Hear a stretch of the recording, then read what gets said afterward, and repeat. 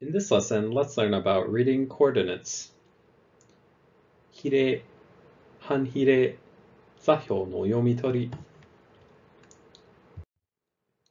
First, let's go over terminology. The horizontal number line is called the x-axis, and the vertical number line is called the y-axis. The point O, where they intersect, is called the origin. Next, let's see how much one unit on the graph is. In this case, from where the number 5 is marked on the graph, we can see that each unit on the graph is 1.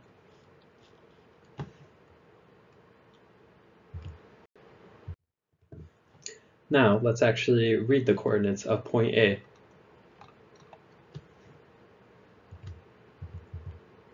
First, draw a line perpendicular to the x-axis from point A.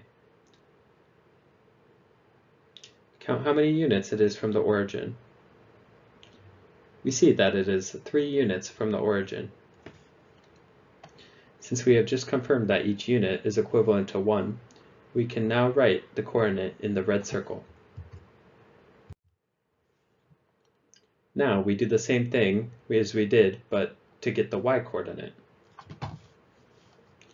we see that it is 5 units from the origin. Write that coordinate in the blue circle.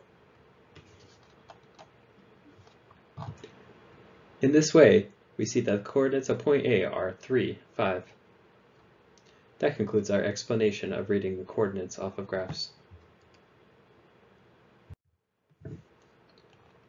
Now let's do some practice. Press the pause button and try to solve the practice problem. Once you are finished, press the resume button and mark what you got correct. Now let's check our answers. Were you able to answer both questions correctly? Finally, let's review what we have learned. The horizontal number line is called the x-axis and the vertical number line is called the y-axis. The point O where they intersect is called the origin.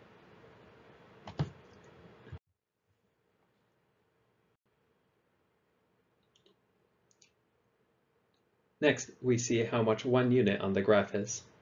In this case, from where the number 5 is marked on the graph, we can see that each unit on the graph is 1.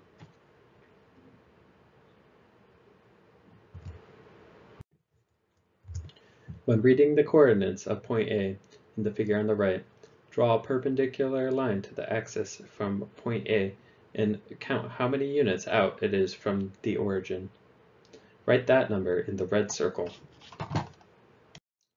Then, count how many units from the x-axis to point A there are. Write that number in the blue circle. From doing that, we know that the coordinates of point A are 3, 5.